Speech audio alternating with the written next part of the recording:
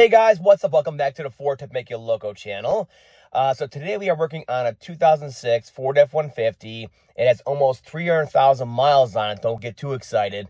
Uh, the engine didn't last that long, but I imagine it lasted into the maybe the mid 200s on here uh, because he put in a Powertrain Products reman engine, uh, which is still a good engine.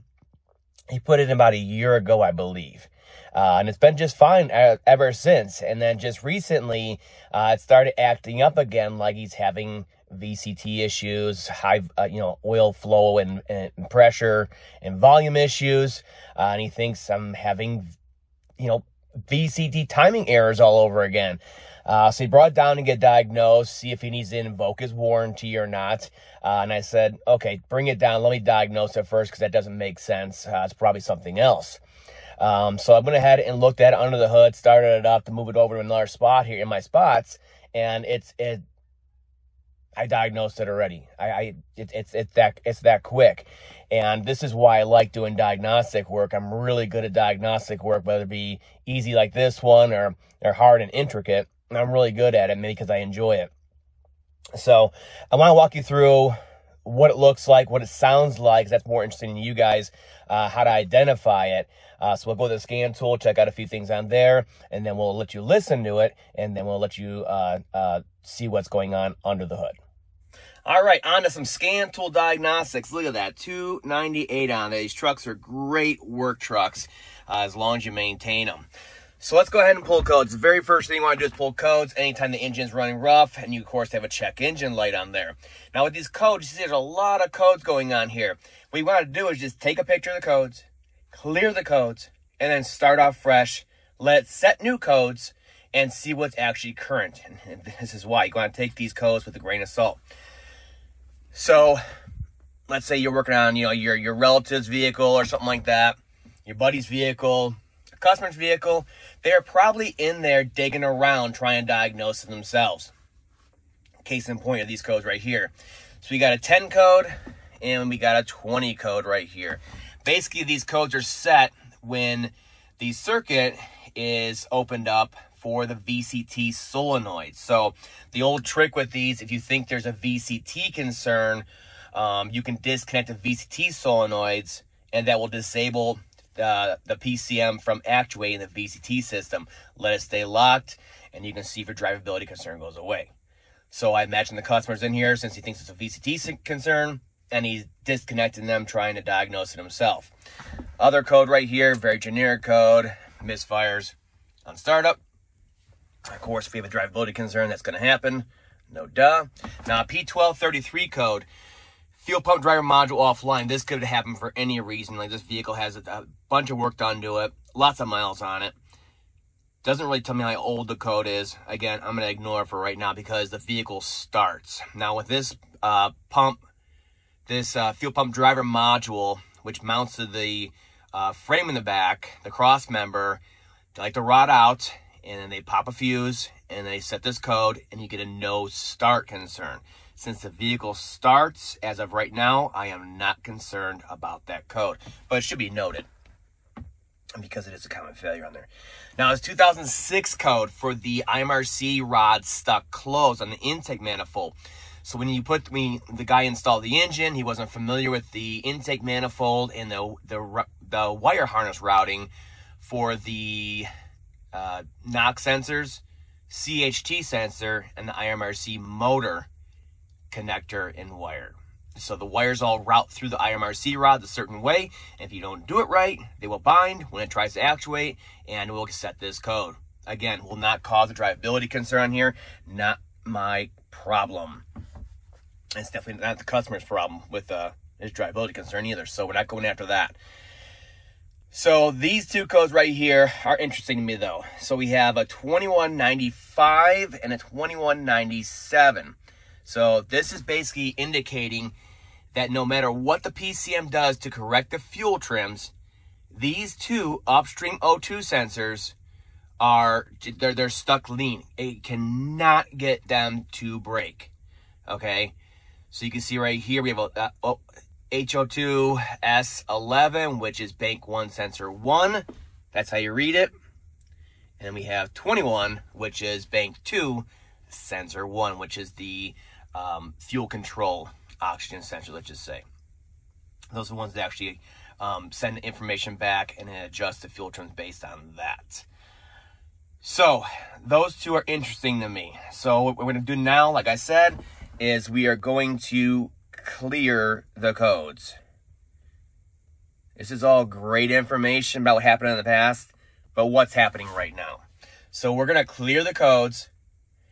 We're going to run the truck until we you know identify and recreate what the customer's complaining about, and then we're going to go from there.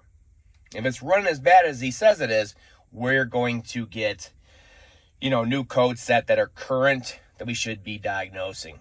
So we're going to go ahead and we're going to do that, let it run horrible for a while, and recreate it, and we're going to see what the new codes are.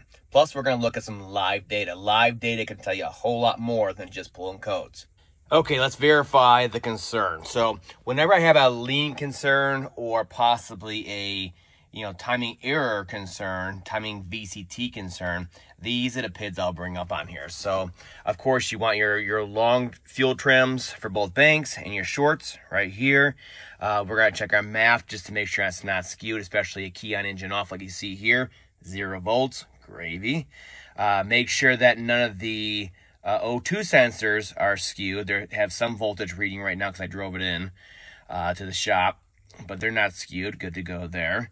And then, of course, we're going to monitor our VCT error when it's hot and acting up like that to make sure it's not jumping all around. Ideally, it should be hovering around zero. So let's go ahead and start it up. Let's go take a listen quick.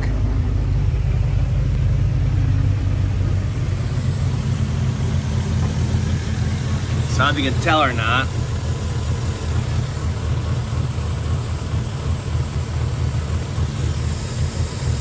Shaking, the engine's shaking, the engine's laboring, okay? So the other thing you notice right now is this.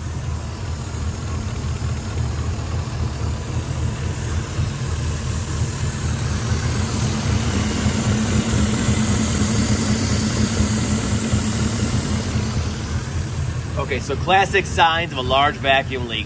Engines laboring, especially at idle, especially at a hot idle, and we hear a hissing noise. Large vacuum leak somewhere in this area, causing the fuel trims to be way off.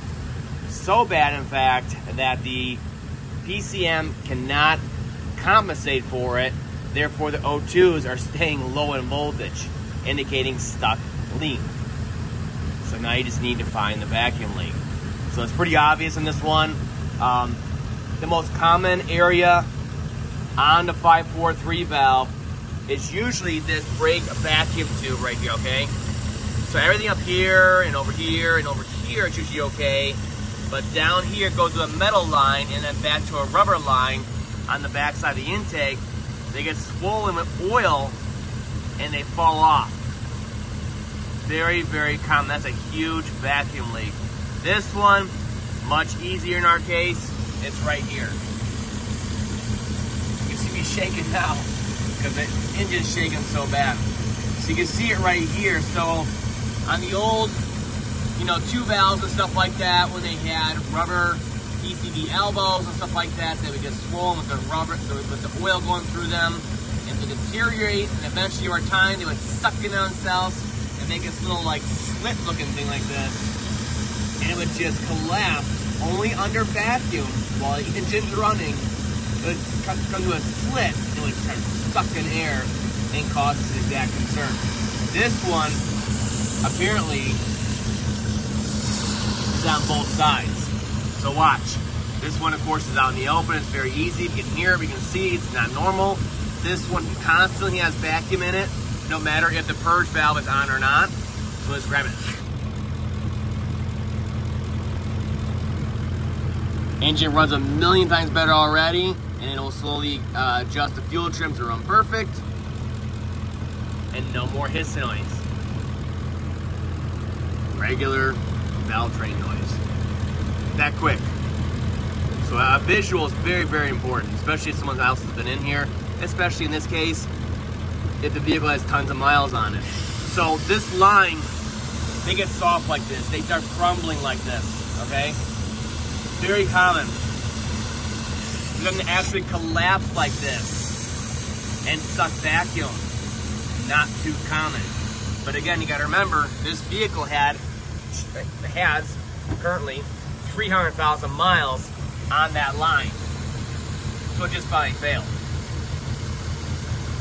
But otherwise, you may see these collapsed where they're like a pancake and they're, they're flat and like a pancake, but there's no actual slits in them. This one, it just had enough. 300,000 miles is over.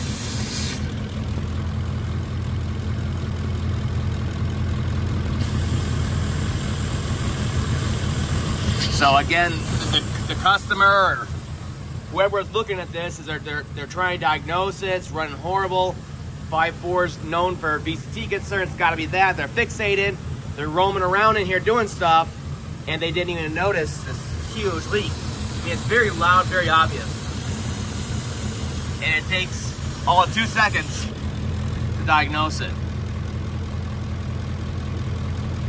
That's a trained ear though. I come in here, I, I know what these sound like, and I know what to look for right away. I zeroed right in on it. So let's see what it looks like on the scan tool when happening before it dies here.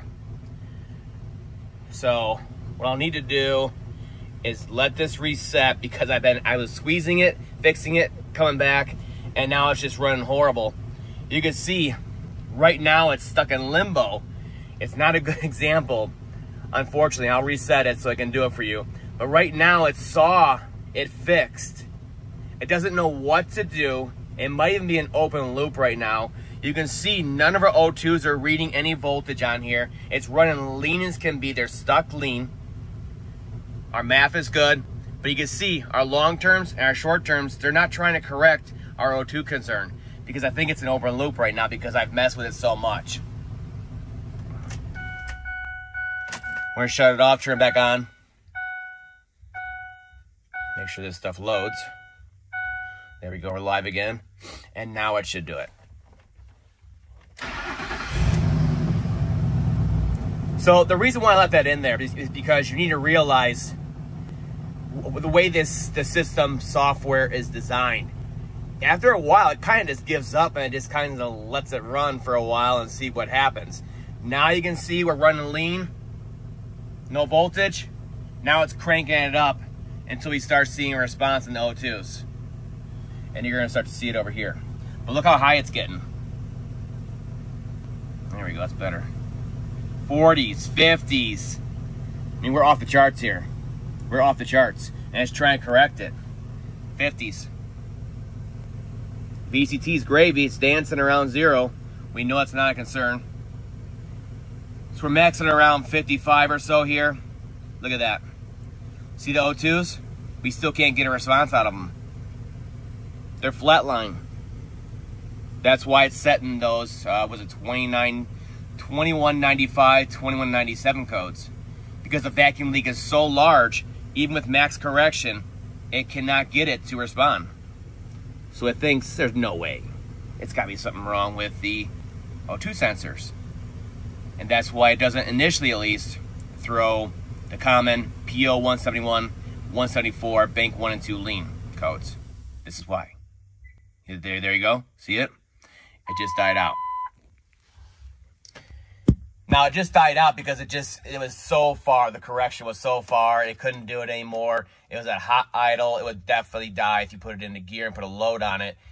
The other thing I want to point out here is you see how it says low oil pressure and it died out, that is because you didn't turn the key off. So the the the, the cluster here and everything is, is wondering what's going on. The the engines has is supposed to be running, and I'm not getting a good oil pressure reading anymore. What's up? Because you never turned the key off. The engine died. So it's not because there's an oil pressure concern. That is just the cluster reacting to you, the engine shutting down and you not turning the key off to shut it down. So it thinks it's still running right now with the oil pressure, basically. So you got to ignore that whenever you're diagnosing a drivability concern. Concentrate on drivability and, and diagnosing it. Forget all the other stuff. So we can see there's a huge vacuum leak and it's because of that line. This is a very simple diagnosis. Will I still charge the customer my usual hour? You're darn right. You want to know why? Because that's all experience. So let's take a look at this line real quick. Now, for me anyway, you know, we're going to get, get, this line coming for this customer so he can get his vehicle back. A couple dealers here that have it. They're going to jump through hoops to get it here for the customer and fix it before the New Year's. Um, and of course, it quick disconnects here and it quick disconnects over here. And then there's a little clip back there to hold it in place. So obviously I'm not going to charge for that. So it's just going to be one hour diagnosis in the part. Pretty darn cheap. Um, and no fighting with the warranty company trying to get the engine, you know, warranty because there's no problem with it. So you got off lucky on this one. So what you can do in a situation like this, any situation you're diagnosing a lean concern, and you want to really verify it's the concern, and that that's the only concern causing your drivability issue. What you can do, since you can't squeeze the hose and drive, is you can simply come over here, release, release the um, hose over here, you squeeze it, and it should come off like that. a little, there we go. Squeeze that in, pull it off. Now we have the vacuum port in the manifold sitting there. What you do is you get a little plug like this right here, the plug on here, and we're gonna cap off any potential vacuum leaks. So that's now capped off on there. You can leave it disconnected here and even disconnected over here. All this stuff, it doesn't matter because our vacuum source, which is the intake, is now capped off. So let's go back over, again in real time, and let's see how it looks when you fix the concern. So again, we're gonna make sure we have live data. Looks like it's there You got to kind of babysit the IDS.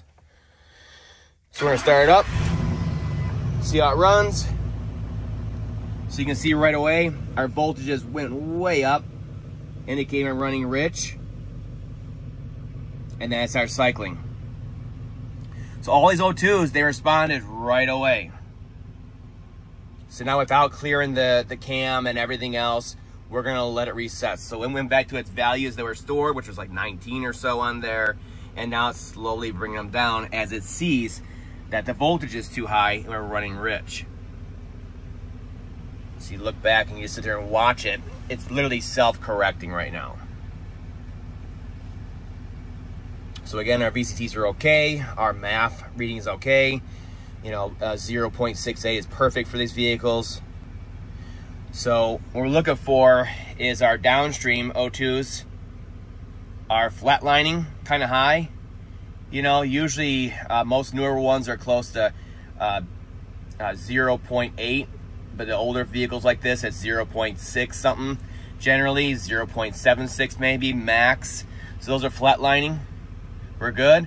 And then our upstreams, uh, bank one and bank two, are looping. They're switching. So they're switching. The cat is it has high efficiency because we're allowing the air to come in and out. And then our, that's good. And then our long terms, anything below 10 is gravy. Uh, ideally below 7 or 8. Once they get 9, 10, 11, 12, 13, I start getting worried there's a little something going on there. But anything below 20 is okay for federal emission standards on there. So we're sitting around 4 to 5 on the long terms. And then our short terms are switching right around zero, like they should be. So everything on here now is in spec just by capping off that one little line on there. So in this situation, what you can do is you can go ahead and clear codes. We're just gonna do a KAM reset on here. You can just disconnect your battery for five, 10 minutes, do the same thing. This just does it instantly. what this will do is it'll literally clear all learned values, you know, from it running lean and all that other stuff and us messing around. It clears everything, brings it back to stock, starts over fresh. We have our we have our one and only um, concern fixed, which is the large vacuum leak. So at this point, with that fixed temporarily and everything reset, this thing should not only read properly, uh, but it should not throw any more codes for lean codes, and we should um, have no drivability concerns, nothing like that. So basically putting that cap on there temporarily is allowing us to really verify that's our only concern present. So let's go ahead and look at power balance real quick on here. Everything looks good. Look at that. That's just another check we can do. See, it's nice and flat all the way across. We're good there. Let's see what it's starting to learn uh, as far as the uh, fuel trims and stuff like that. So you'll see it right here. It went up to like 10 or so. It's trying to get the O2s to wake up. They woke up and now went back down.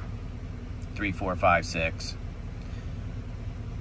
And then because it's hot already and it's closed loop, quickly it learned the long terms. Again, five, six, four, five, six. And now we're switching around zero and everybody's satisfied.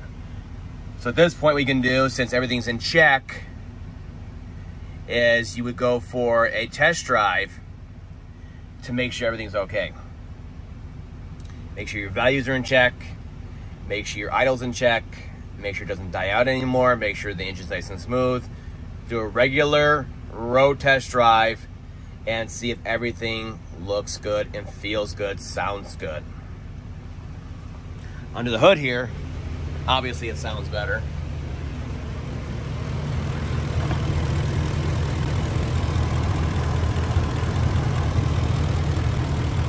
Smooth, look at that. So we're good there. And that's it.